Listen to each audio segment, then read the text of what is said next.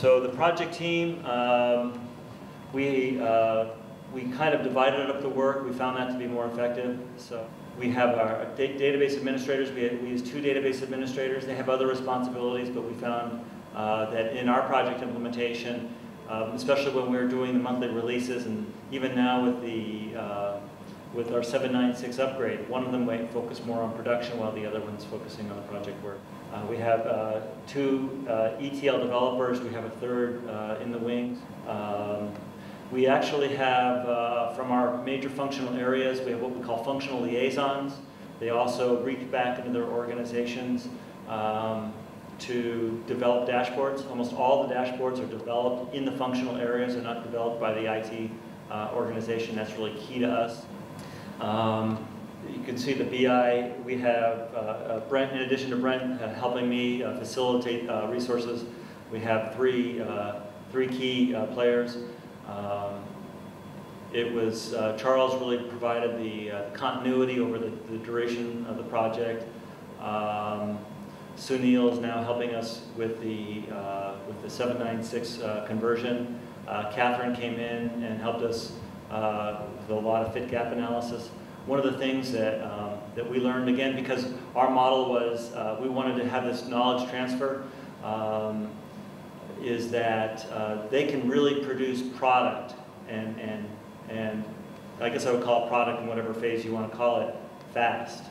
And so we actually uh, uh, had to, to resource load and, and, and reduce their involvement a little bit because they were just way ahead of us. Um, and it's not really their traditional model. And I think, Brent, if you want to talk a little bit about how uh, usually staffs projects, I think that will probably be uh, useful. Primarily is, is a BI designer. Um, that's a person who uh, is really in charge of all things dashboard and report development. Um, that person typically also facilitates a part-time project management role. That would be one resource.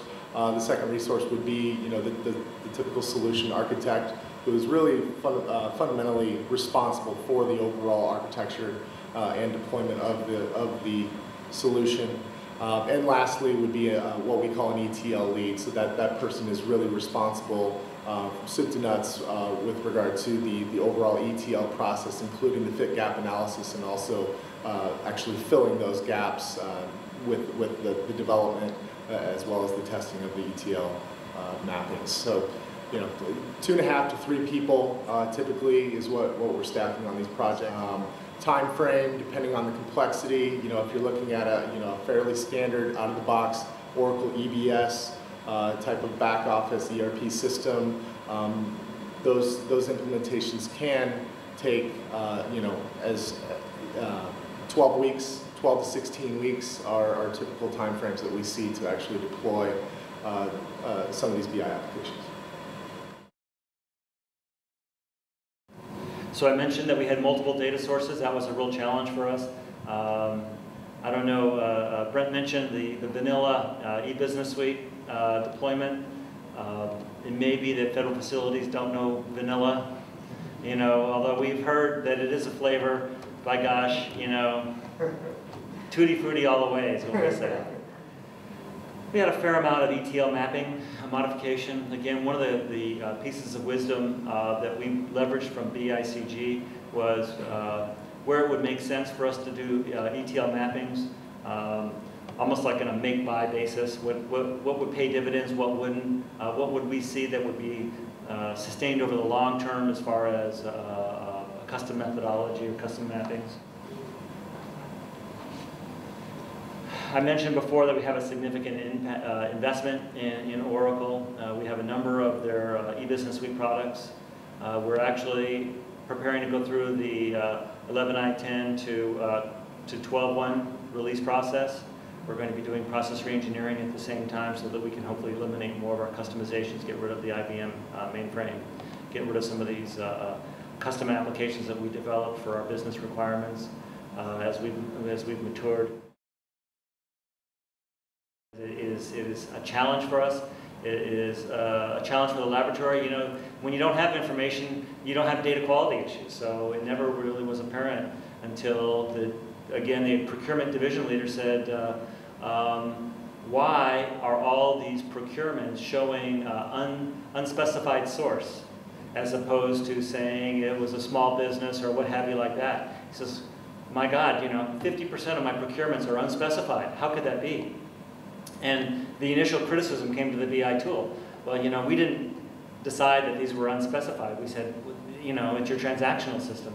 And let's drill down and let's find that record and then you can see who the procurement rep is that, that coded it unspecified, and you can have a conversation with them or their management as to uh, uh, that data practice. Uh, one of the current themes that we see when you're implementing business intelligence systems for the first time is that it tends to put a spotlight on data issues and process issues that you have within your organization. Um, and this is a good thing, um, but historically, when people were using Excel spreadsheets and, and those older types of technologies, they could easily hide that. They could go into a spreadsheet and modify it.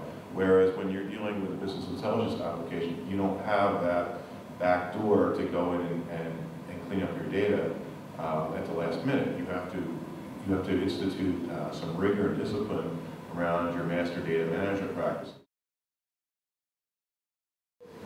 Um, so some of the results, of course, uh, providing intelligence is really key. Um, we, for the first time, actually had insights to guide the procurement process. So we were actually able now to go through and, and, and tactically uh, uh, almost preempt uh, issues that uh, management might have, you know, by warning them that, uh, that we've got a, a, circumstance that we weren't aware of or that we're working this priority or that priority.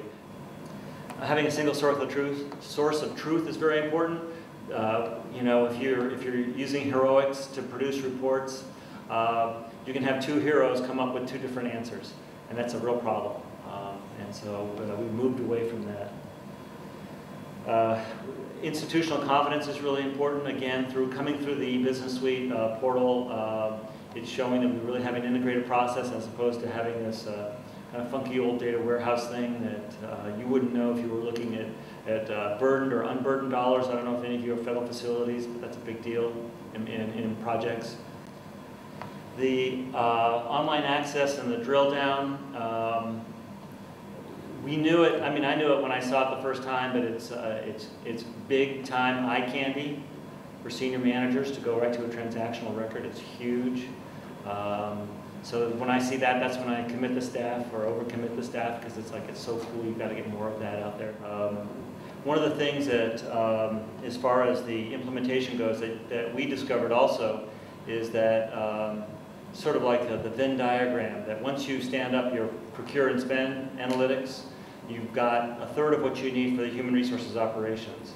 Once you've stood up human resources operations and uh, uh, uh, procure and spend, you're really close to finishing accounts payable. Our vision is that once we uh, flesh those out a little bit more, we'll be very, very close to project analytics. We're real excited about the role-based security as we push more and more product out to the line. Uh, we're hoping by the end of this year we're going to actually have a dashboard on every manager's desk. Uh, the executive sponsorship and then the executive use of the tool, I think it's a, it may be a, a, one of the significant reoccurring themes that I hear from people who have business intelligence is that the early adapters are the executives. It's not the, the line staff or the line managers.